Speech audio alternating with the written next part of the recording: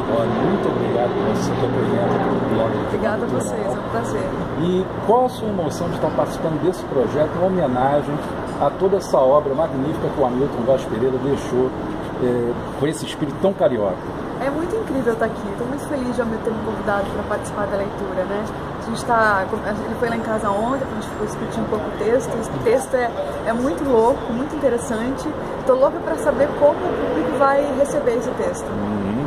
E você já tinha tido contato com a obra dele anteriormente? Como... É eu já tinha lido alguns textos do Hamilton antes, uhum. mas é a primeira vez que eu vou participar de uma leitura pública. Esse especificamente, a Taliba, a Gata Safira, é a primeira vez? Né? Primeira vez, não conhecia. Vez, é né? muito louco. Muito louco. É. Né? e, e, qual a importância, do, que, qual foi a grande revolução que você acha que o Hamilton provocou no teatro, na, na, na, na ah, performance? Eu acho que a liberdade né, que ele tem em escrever, os textos, os, os temas que ele aborda, tudo isso traz é, uma nova visão sobre as coisas. Eu acho que isso é bem interessante. Assim.